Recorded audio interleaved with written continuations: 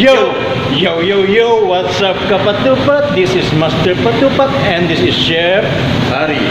and welcome back to my channel.